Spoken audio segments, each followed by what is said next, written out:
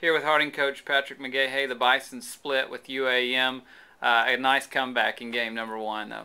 Yeah, we're really fortunate to get a split. Uh, you know, obviously I didn't have the guys ready to play today. Apparently, we just we didn't show up, and yeah, it was a weird week. We didn't play midweek, and got got some practices canceled because of weather. It's really out of our routine, and uh, so it's frustrating. Unfortunately, you got to tip your cap to uh, UAM's second kid. He really threw a great game. But uh, you know, first game it was good to see our guys battle back. We uh, we trailed late, and I think we scored five in the eighth to, to put away. So that was a good win. Billy Ninemeyer, four for four in game one, had another hit in game two, and he had gone through a little bit of a cold stretch there, but it looks like he's he's back at it. Yeah, you know, he, he really is. He's been swinging it well, and know, even during that cold stretch, he was hitting some hard, you know, some balls hard, Yeah. um, just right at people. So uh, he, he's finding holes again, and, and he's got a lot of confidence right now. You got Logan Holthouse coming back tomorrow off of the you know missed last week with the the injury.